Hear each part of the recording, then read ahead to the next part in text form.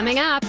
If you're dating someone, you absolutely have to figure out if they are the youngest sibling or the oldest sibling. Does birth order really matter that much? But first, let's do the numbers. Dow Jones Industrial Average fell 49 points, a tenth of a percent, to finish at 40,539. The Nasdaq added 12 points, less than a tenth of a percent, to close at 17,370. And the S&P 500 gained 4 points, also less than tenth of a percent, end at 5463. Stephanie Hughes was just telling us about what a McDonald's downturn says about the economy. The Golden Arches heated up almost three and three quarters percent. Among its competitors, Yum Brands, which owns KFC, Pizza Hut, and Taco Bell, gained almost one and nine tenths percent.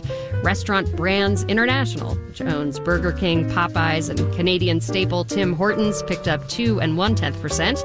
Bonds rose. The yield on the 10 year T note fell to 4.17%. You're listening to Marketplace.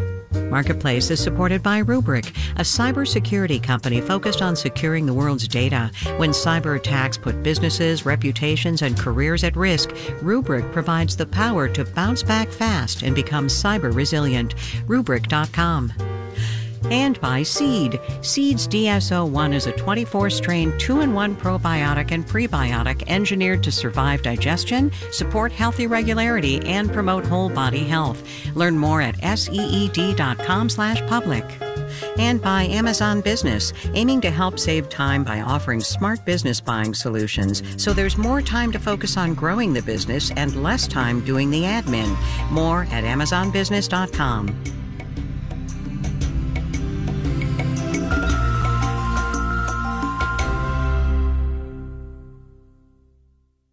WNYC is supported by City Harvest, who are on the road every day rescuing 77 million pounds of nutritious food a year for New Yorkers in need, transforming surplus food into sustenance and sustainability. That's how they feed good. More at cityharvest.org. On the next All of It, we delve into the life of trailblazing broadcaster Barbara Walters. Susan Page has written a new biography, and she joins me to discuss. Plus, a 14th century collection of short stories about life during the Black Plague is now a Netflix series. We'll discuss the Decameron with its creator. I'm Allison Stewart. Join us for all of it, weekdays at noon on WNYC. You're listening to Marketplace on WNYC. Coming your way in the 7 o'clock hour of All Things Considered, Venezuela's authoritarian leader claims victory, but opposition and many regional leaders cry foul. We'll have that and more at 7 o'clock. Stay tuned. This is Marketplace. I'm Amy Scott. We started the show talking about interest rates as Fed officials prepare for this week's meeting. Signs are pointing to an interest rate cut soon as inflation gets tantalizingly close to the Fed's target rate of 2%. But remember, price stability, represented by that 2% target, is just one part of the Fed's dual mandate. The other, something called maximum employment. And as Marketplace's Samantha Fields reports, measuring that is complicated. What are we even talking about when we say maximum employment? It's normally defined as the highest level of employment the economy can sustain without generating higher inflation. Kathryn Dominguez at the University of Michigan says that doesn't necessarily mean everyone who wants a job has one. It means that everyone is employed that could be employed without leading to higher inflation. The thing is, if the unemployment rate gets too low, there's a risk that companies will have trouble finding workers and start raising wages, which will then increase their operating costs, and eventually they'll turn around and pass those higher costs on to customers in the form of higher prices. The Fed's goal is to get as many people employed as possible without having that happen. Of course, the question is well, what does that mean in terms of the numbers, right? Michelle Holder is at John Jay College at the City University of New York. Does it mean uh, a 4% unemployment rate, a 5% unemployment rate? The Fed is not specific about that. Partly because the economy is not static. The economy is dynamic. And so when you start to rely on just one target number, you risk missing the fact that those benchmarks may need to change over time as the economy changes, as the workforce changes. That's exactly what's happened in the last decade. Bill English is a professor at the Yale School of Management. He also worked at the Fed's Board of Governors for years, including from 2010 to 2015. And he says during that time, the Fed estimated maximum employment to mean an unemployment rate of somewhere between 5 and 6 percent. And then in the late 20 teens, the unemployment rate kept coming down, the labor market got tighter, but inflation didn't kick up. And so they marked down their assessment of what maximum employment could achieve in terms of the unemployment rate. To about 4% unemployment, which coincidentally is right about where we are now. So, could it go even lower? And could it stay lower without kicking up inflation? English says that is a key question. Because the Fed could achieve higher levels of employment for a little while. you know, for a couple of years, they could engineer a big boom. But eventually, he says, a big employment boom would lead to rising inflation. So the, the notion is that there is a, a maximum sustainable level of employment that you can achieve and maintain. But Erica Groshen, former commissioner of the Bureau of Labor Statistics, now at Cornell, says that maximum sustainable level of employment is always going to be a moving target. The labor market is the largest and most complicated market in the economy. And we prize the dynamism of our economy. However, that complicates measurement. At least measurement with one single number. It's never just one number. Michelle Holder at CUNY's John Jay College says instead the Fed looks at a bunch of numbers to assess maximum employment. What's happening with wages? What's happening with the ratio of available jobs to available workers? How many people are quitting their jobs? What is happening with the number of people who are not in the labor force? Is that number growing? What is happening with actually Black unemployment, right? The Fed is looking at all of those data points and more. Kathryn Dominguez at the University of Michigan says the reality is it's doing that with inflation too, even though it does have that 2% target. Even that is not straightforward. It's more straightforward than the maximum employment mandate. But even on the inflation side, we have a lot of different measures of prices. There's PCE, the Fed's preferred measure of inflation, but there's also CPI and PPI. So I don't want to make it seem like inflation's easy and employment is really hard. I think they're both difficult. Because the economy is always changing. I'm Samantha Fields for Marketplace.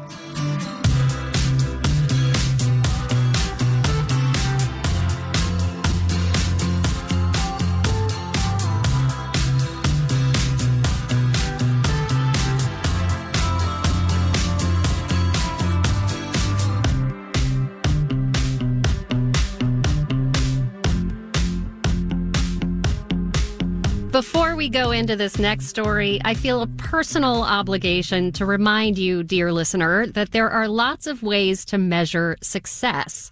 So keep that in mind when I tell you that a growing body of research shows that when it comes to economic outcomes, birth order matters. Some big brothers, I mean, people, just seem to have an advantage. And a new study from the National Bureau of Economic Research finds it's been that way for more than a century. Marketplace's Daniel Ackerman explains. There's no shortage of, let's call it folk wisdom on TikTok about how your birth order determines pretty much everything if you're dating someone, you absolutely have to figure out if they are the youngest sibling or the oldest sibling. I'm the eldest daughter. I'm the creative director, head of production, graphic designer, and project manager for the family Christmas cards. And then the uh, youngest is known to just be the baby of the family, doted on, so they kind of think that the world revolves around them. And while much of that pop science is overblown or simply made up, there is pretty conclusive economic data. And fellow younger siblings, the news isn't great. It's good to be first. Siobhan O'Keefe is an economist at Davidson College. She and her co authors came to this conclusion by analyzing U.S. census data going back to the mid 19th century. O'Keefe says the census is a great way to learn about economics at the family level. We see where you lived, who you lived with, what your occupation was. Did you own the home you live in? The census allowed O'Keefe to track siblings over time, from childhood on through to their years in the labor force, with snapshots every 10 years.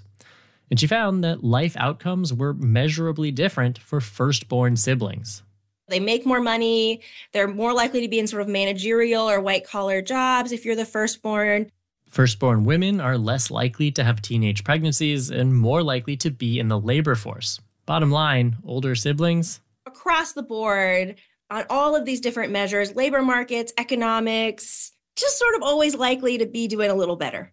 Other studies have confirmed this advantage to the point where it's got its own economic jargon the firstborn premium. It applies to only children too. But the question is why? Why do firstborns seem to have it so great?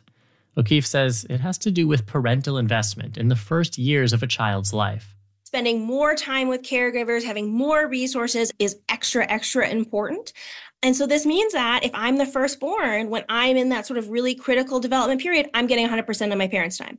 Secondborns get 50% if they're lucky, and that slice of pie gets smaller and smaller for third and fourthborn and beyond. Of course, many of us younger siblings do plenty well for ourselves, so it's important to note some caveats here. The first thing that I always say is that this is on average. Sandra Black is an economist at Columbia University. She used data from Norway to study how long siblings stayed in school. For education, going from the first child to the fourth child would have about three quarters of a year less of education. And that translates into lower earnings and other outcomes. So it's not huge, but it, it matters. The good news for younger siblings that not huge pay gap can be bridged at least in Italy. Giorgio Brunello is an economist at the University of Padua, and he found that younger siblings behave differently in the job market in that country.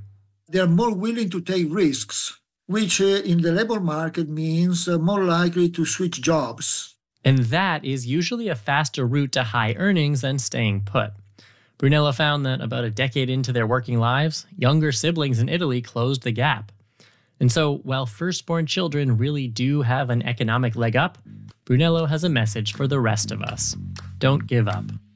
I'm Daniel Ackerman for Marketplace.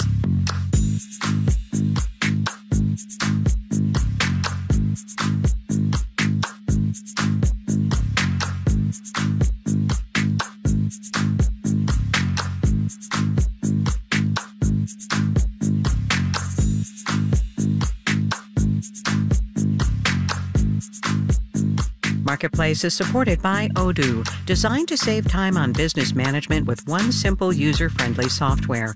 ODOO.com. Everything any business will ever need. And by Viking, exploring the world in comfort. Offering small ship, river, and ocean voyages, Viking designs travel experiences for curious travelers. Discover more at Viking.com.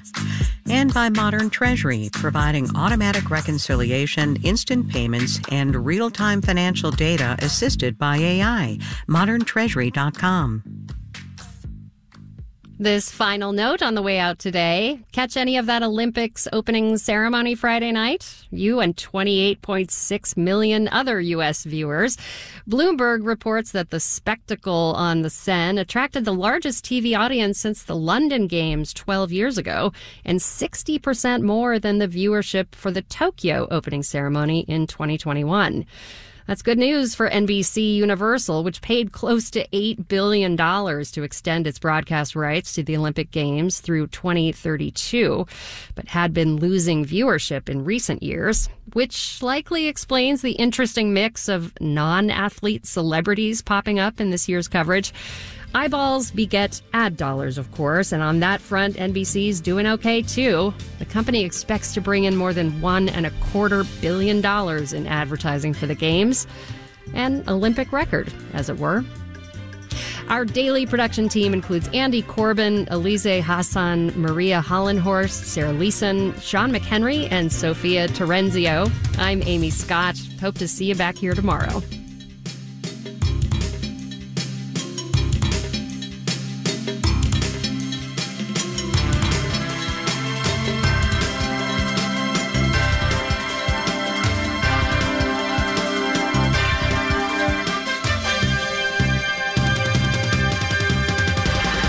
This is APM. WNYC supporters include the Central Park